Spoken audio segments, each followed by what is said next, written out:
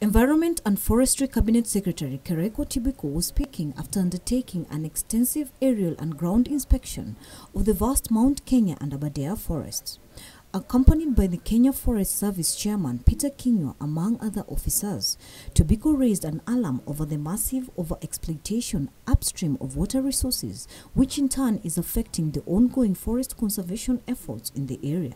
There is massive uh, overexploitation of water upstream.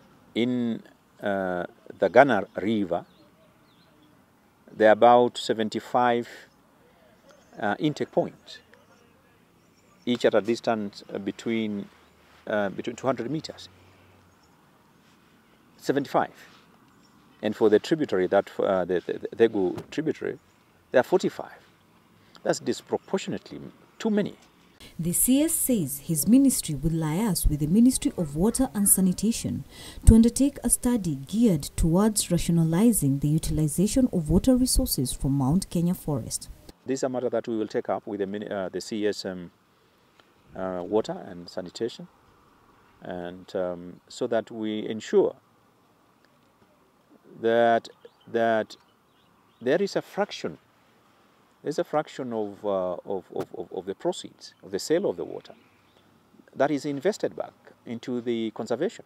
Tobiko also noted that the multi-agency surveillance team appointed has not yet established any serious illegal logging or destruction of the forest as earlier reported, but security has been beefed up to nab and scrupulous individuals.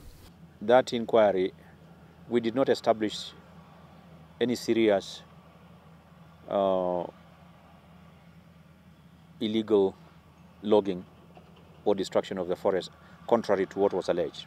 It was clear to us that there is. He warned suspected illegal loggers against breaching the current logging moratorium, saying they will face the full force of the law. The visit comes amid calls for the removal of settlers who have encroached into the Mau forest, which is one of Kenya's biggest water towers.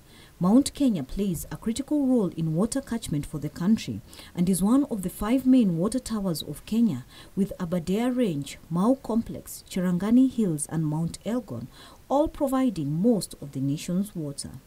For Channel One Weekend, I'm Emily K. Bade.